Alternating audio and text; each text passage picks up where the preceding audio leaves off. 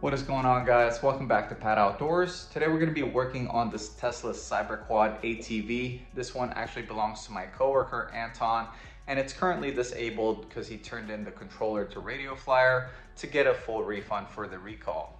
Now the whole purpose of this project is to get this thing back on the road with as much speed as possible on a $250 budget. Now, last time I took this thing out, I was only able to top it off at 10 miles an hour, which I personally think is a little too slow for an adult to have fun with it. But considering it has rubber tires, a disc rear brake, suspension, and a metal frame, I think it makes a good platform for modifications similar to my Razor MX 650s, which both go 50 miles an hour, but those both run on a 72 volt brushless motor setup, which is obviously gonna cost a lot more than what we're doing to this thing. The main limiting factor of this setup is certainly gonna be the original battery, which he wants me to retain. This one is made by Radio Flyer, and it is lithium, but it's 36 volts, which is gonna limit the amount of RPMs we're able to get out of the motor. But it looks pretty sleek. I like how it fits back here. And it's also $500 from factory, so we might as well get some use out of this original one. Now, if this was my bike, I personally would like to get a 72 volt 30 amp hour battery and jam it in here since there's a lot of space in the center of the chassis, but this is his build and we're gonna do exactly what he requested. Hopefully we can get at least 20 miles an hour out of this thing. I also really like the design of the charger that came with this battery, but while we're letting this charge some more, I'm gonna go over all the parts that we're gonna be using for this project.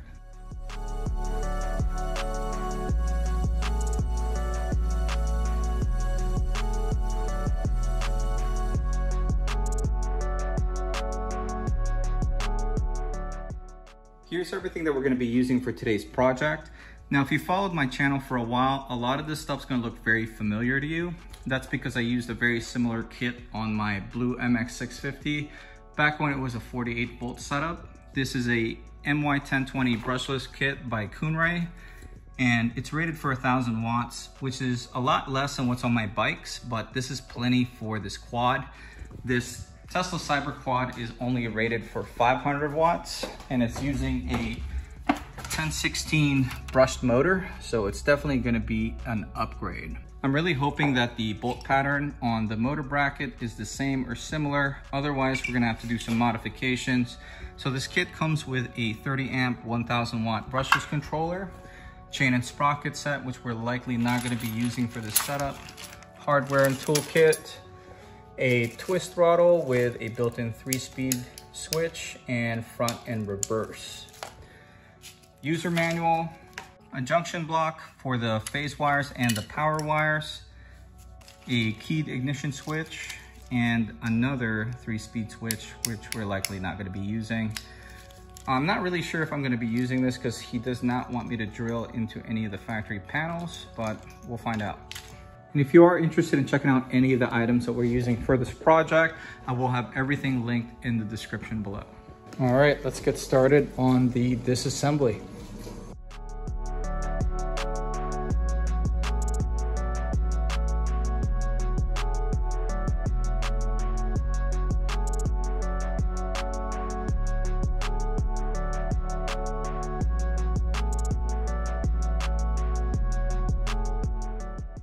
There was definitely an unnecessary amount of hardware holding the two plastic covers together on the rear axle.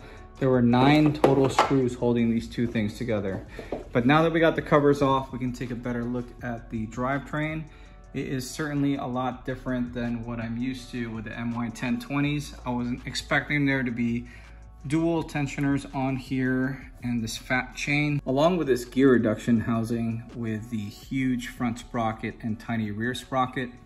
I also wonder if this changes the rotation of the shaft since these motors, I'm used to working on bikes with it mounted the other way. I wonder if that also reverses the direction. So I might have to wire the controller switch backwards for forward and reverse. We're gonna have to experiment some. Just using a five millimeter Allen socket to remove the motor mount bolts from the bottom bracket.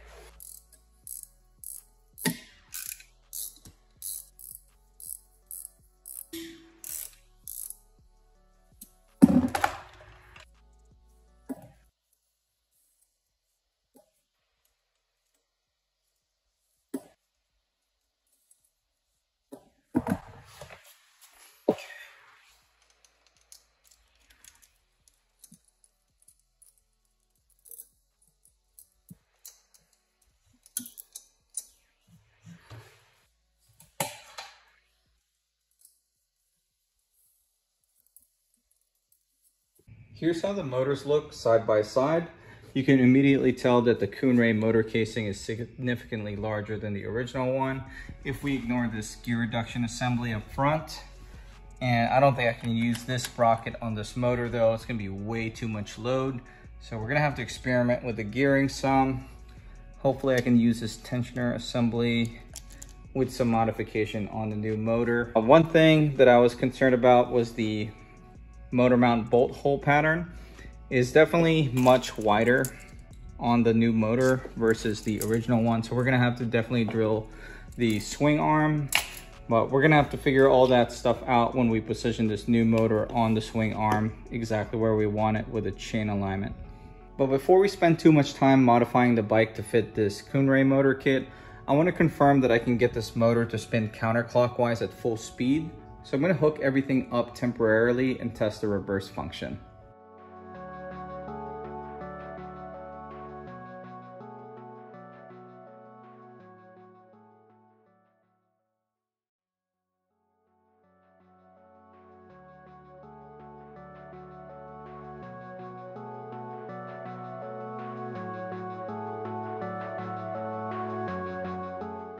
So I just made a temporary power supply cable to connect the battery to the controller so we can test this out.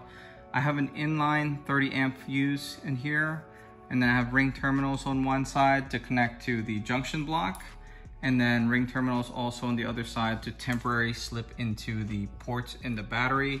Now this is temporary. I already have a CX50 battery connector for this thing. It's just not gonna be here for another week or so. So we are just using this for testing reasons. Please do not do this at home.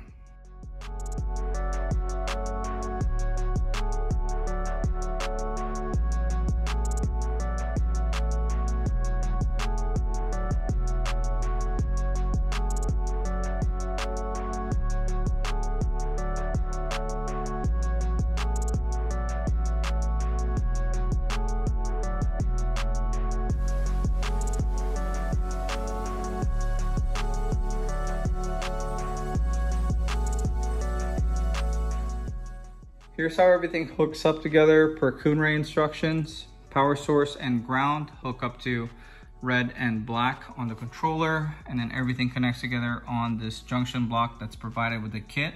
This is where all the big wires go, such as the phase wires.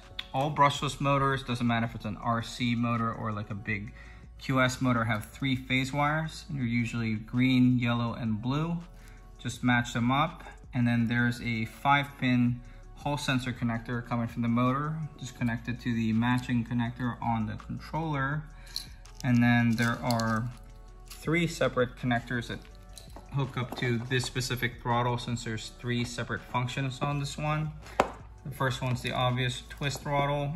One is the speed switch and the reverse switch. And each connector is already labeled from factory, so it should be pretty easy to figure that out. And there is a keyed ignition over here. These four connectors or these five connectors we're not gonna be using. Two of them are for the brake lever switch. So if you have like a Razor MX650 and you hook these up to the factory brake levers, it'll cut power to the controller when you apply brakes. And then it just sends signal to a brake light and then this one's just a charge port, but we're not gonna be using this since the Tesla battery has its own charge port. And then one wire that I might be using is this indicator light. Since the Tesla quads have these factory LED headlight and tail lamp set. So I might make it work with this. I'm gonna test this out if this puts out 12 volts. So let's turn this thing on, test it out. All right, standard speed. So as you see, it spins clockwise, not counterclockwise like it's supposed to. So if I go in reverse, it spins counterclockwise, but not as fast. You can hear it. And then even on a faster setting, slower setting, the reverse mode is fixed. So we're gonna have to figure something out as far as potentially swapping out the wiring to reverse the polarity to make it spin the other way. I'm gonna have to do a little bit more research.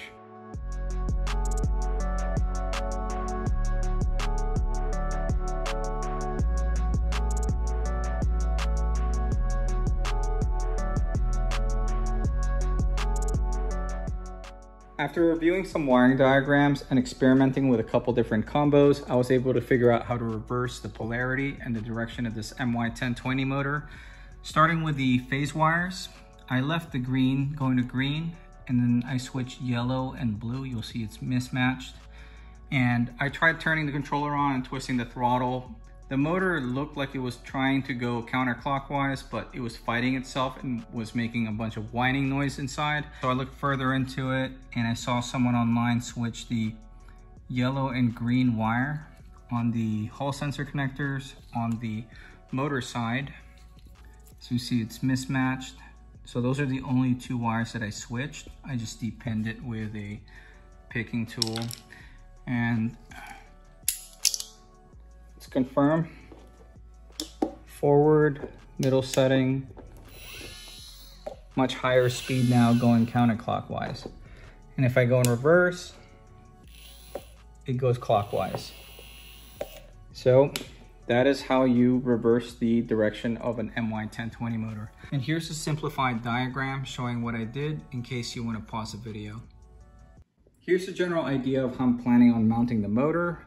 I'm thinking about drilling new holes on the motor mount bracket instead of mount modifying the plate on the swing arm, just to keep as much of the Tesla unmodified as possible in case we change the setup in the future. And I think the biggest challenges of this build is certainly gonna be the battery connector. I ordered a uh, 3D printed CX51 from China that's supposed to be bolt onto this. We'll find out that comes in in about a week. That's gonna be the last step of this build anyway. Uh, and then the other big challenge that I'm gonna have to figure out is the sprocket sizing. Whether or not I'm gonna go with a larger rear sprocket and keep this small one up front, or put a larger one up front and make this one work, whichever combo. I'm definitely gonna have to shorten the chain some and then figure out how I wanna mount the tensioner, whether or not I wanna copy the original style that bolts on the cap of the motor, but I wanna stare at this some more before I just start modifying things. Right now, I'm just way too distracted about this box that just got delivered by FedEx, and I am anxious to unbox this thing. If you enjoyed today's video or found it helpful in any way, do me a favor and hit that like button. And if you like this kind of content, want to keep up with some of my projects or some of my builds, consider subscribing to this channel. But this is going to be it for today. Thank you for watching.